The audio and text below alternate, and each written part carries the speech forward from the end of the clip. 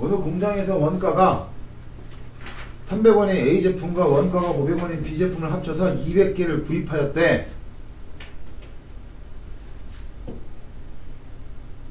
미지수 생각이 나? 여기까지 읽었는데?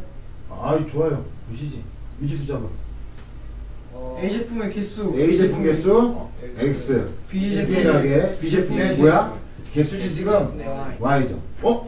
미지수 잡으니까 식 하나도 나오죠? 네. 식 하나가 뭡니까? 네. 오케이. 두 줄 딱 읽고 미지수 설정과 식 하나.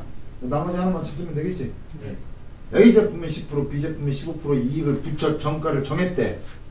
이 제품은 모두 판매하면 9,600원의 이익이 생긴다고 하는데 맞아 안 맞아? 맞아요. 9,600원의 이익은 어떻게 나와? 이익은 어떻게? 0.1 분석이 이익은 판매가에서 원가를 빼는 거라 그랬지? 네. 판매가가 얼마야? 판매가가 얼마야? 1.1x 판매가가 더하기 얘는 1.15 y가 되겠지. 여기에서 뭘 뺀다? 원가 두 개? 300X 300 아유 300 X x 플러스 500Y 그렇지 500 y를 빼주면 9,600원이 나와야 하는 식이 생기는 거지. 여기까지 이해 가 가? 아유 여기까지 이해 가? 근데 저 10곱 한 100곱 가면 너무 커지는데 그렇지. 배꼽 하는 것도 뭐 너무 커지기도 하지만 그래도 하는 게 편하지 얘는 좀 이쁘게 식 세워보려면 너무 다 떼고 생각해 뭐 얘는 특별하게 뭐 이쁘게 생각해보자 싶어 할게 없어 보이네. 이익금이 나온 거니까 비제품의 개수를 구하라. 모두 판매하면은 9,600원의 이익이 생긴다.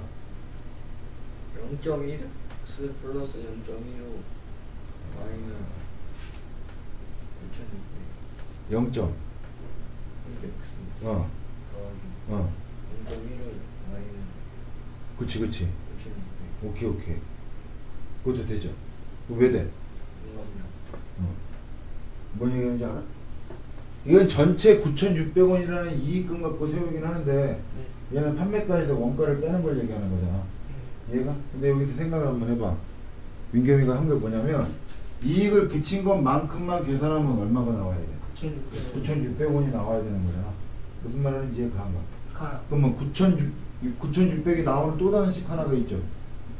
어떻게? 0.1 그렇지, 0.1x. 0.1x 플러스 0.15y. Y. 이거 두 개를 더해버리면 얼마가 나오기도 해야 돼? 9,600이 나오기도 해야 되겠지. 이 무슨 말 하는지 이해 가냐 안 가냐? 아유 이해 가? 네. 저도 배고파 근데 뭔가 내가 좀 이상하다. 아, 1.1, 1.5y, 300x. 원가를 뺐다 판매가에서 개수, 개수, 개수. 아, 식을 잘못 세웠네 위에 거 식을. 위에 거 식을 선생님 다 잘못 세웠다. 미안하다. 이거 왜 그러냐면 1.1x가 아니죠. 1.1x가 아니지. 무슨 말이냐?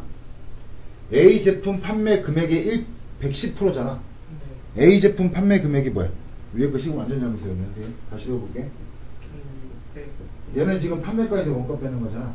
네 판매가를 계산해 볼게요. A 제품 판매가가 어떻게 되느냐? A 제품은 300x가 판매가지. 네 여기다 곱하기 얼마 해줘야 돼? 100분의 100분의 100 10 해줘야 되는 거야. 아 그러니까 곱하기 얼마? 1점? 예. 여기에 곱하기 1.1을 하는 거지. 아이씨, 왜냐? 아 그럼 정신 저는 1.1 그죠? 음. 얘가 그럼 더하기 얘는 500y죠 네 500y 곱하기 얼마가 나와야 돼서 1.15가 돼야 되는데 이게 판매까지 네 여기서 뭘 빼줘야 돼? 300 x 플러스 500 y 이거 두 개를 빼주는 거지 식, 아, 아까는 완전 잘못했네 근데 위에 거랑 밑에 거랑 봤을 때 누가 더 쉬워? 밑에 거 당연히 밑에 게 더 쉽죠 첫 번째 거 세 번째 거 이렇게 엮어서 하면 되지 무슨 말인지 알겠냐? 어. 그 다음 몇 번?